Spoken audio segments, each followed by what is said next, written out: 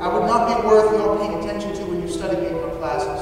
If, amidst all the successes of my life, the Declaration of Independence, the presidency, the Louisiana Purchase, if when I made a mistake, I didn't admit it. Never pay attention to someone very closely if they won't admit they made a mistake, and you're not worth me having someone pay attention to you if you don't admit you made a mistake. I failed that. There, I could list things like the, the conflict over the Louisiana Purchase, over my argument with Alexander Hamilton, and the differences of philosophy that are involved in that. But I think that's more important is that they learn about me, that though that they must learn about my life in time to understand America. That one of the most important messages I try to, to, to put forward to students is that each generation stands on the shoulders of those who have come before.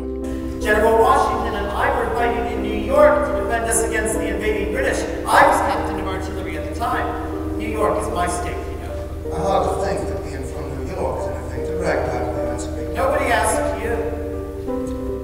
education is vital. When it, the people, of course, the passions of people, very often they will either purposely or accidentally sacrifice the greater good to their individual animosity, to their individual avarice. Uh, in order to educate the people, you need a, a strong central government which can, which can do so, and thus they can give back to that federal government.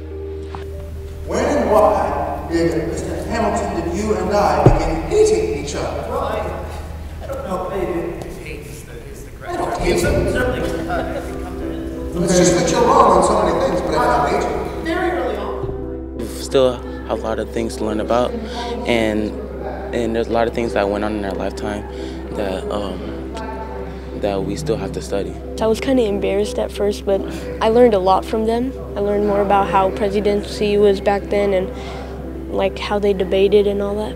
You don't exactly get to have this happen every day. It's kind of like a once in a lifetime sort of experience. So, I mean, they teach you a lot more than the books do because you actually get to interact with them. feels like you're actually getting it from the real person and not we're not just reading from books.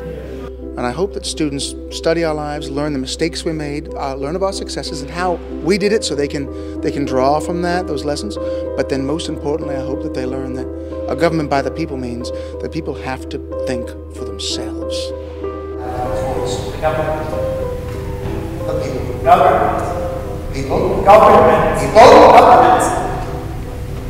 well, we go on about this all day.